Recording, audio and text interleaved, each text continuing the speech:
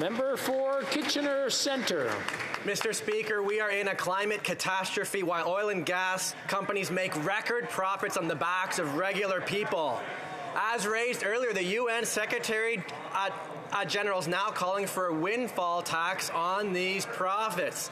Yet this federal government continues to do the opposite, giving more public funds to the very companies responsible for the crisis. When will this government listen to the uh, to the U- UN and apply to oil and gas the same windfall tax they have to banks and life in- uh,